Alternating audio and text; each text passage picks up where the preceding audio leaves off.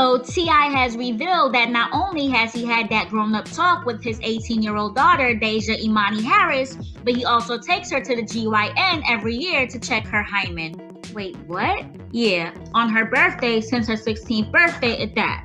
Wow. Tip, oh no baby, what is you doing? He said that he gives her about a day after she celebrates her birthday or whatever, and he puts a sticky note on her door the next day that says gyno. It's a reminder. What? That's weird. He also gave some nuggets and said that the hymen can break in other physical ways too, like bike riding, for example, or riding horses.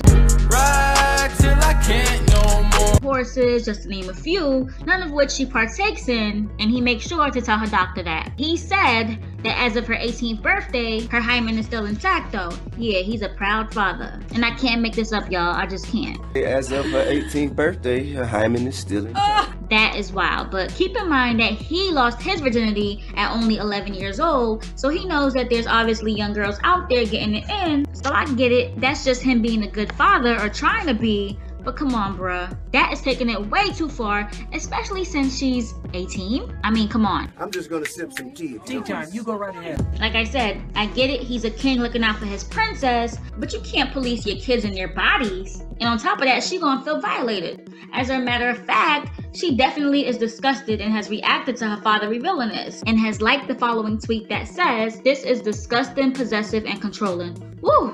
Mm, so now we know how she feels. And the internet is just as disgusted and have been saying things like what he does is sick and horrifying, and I'm sure she's embarrassed. But Deyjah Boo, we the people are with you, girl. Trust and believe that. Because we do understand that your father is only trying to look out, but at the same time, we know it ain't cool. I'm just saying. But that's just my opinion. Do y'all think that this is good parenting or do you think that he's just doing too much and needs to relax expeditiously? Just check the hymen, please. we want to know exactly what y'all are thinking, so leave your thoughts below and don't forget to like, share, and subscribe to this channel for more. And don't forget to hit that bell to join the notification gang. PetTeaBlog.com signing off. Also, would you like to protect your energy and balance your chakras? Then visit KinglyEssentials.com, which is a one-stop shop for health metaphysics. They offer crystals and protection jewelry that has you covered to be stress-free. You can also type your problem in the search bar and it will link you to the product.